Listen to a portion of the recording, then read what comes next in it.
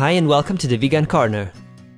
We were asked for this recipe a while back and we are finally able to offer you a vegan version of banana bread.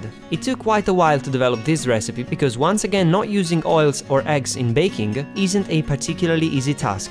However, you will be happy to hear that the results we now have are just amazing.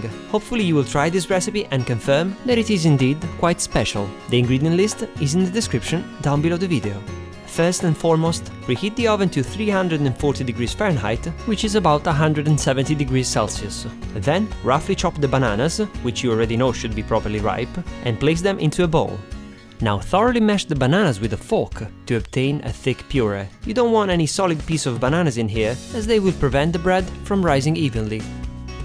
Add in the sugar, the non-dairy milk, the cinnamon, and stir well to incorporate them.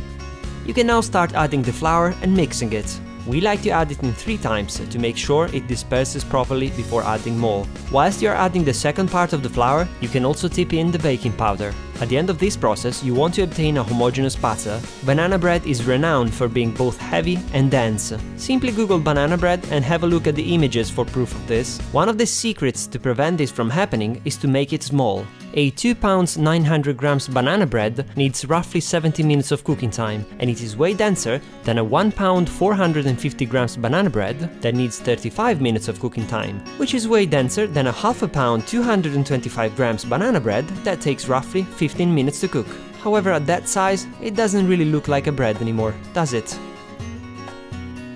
Anyway, grease a 2 pounds 900 grams loaf pan, pour in the butter and level it with a spatula you do want to grease the pan, as the alternative is spending hours on end removing the bread from the pan. Now to the topping. Cut a few half an inch, roughly 1 cm slices of banana and then cut them in half. Press the banana pieces lightly into the batter, creating the design you desire. This will allow for the surface to crack during the cooking process, yielding a more appealing final bread. Once that's done, you can pop the pan into the oven and start counting the cooking time. You want to cook this beauty for 70 minutes, rotating the pan every 10 minutes to allow for even browning and cooking.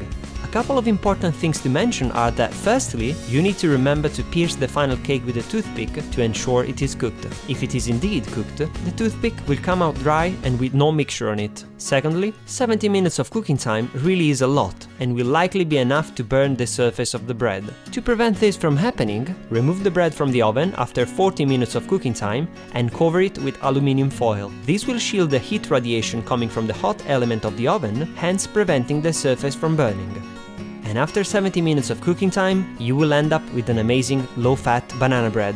I hope you try this recipe and let me know how it turns out for you guys.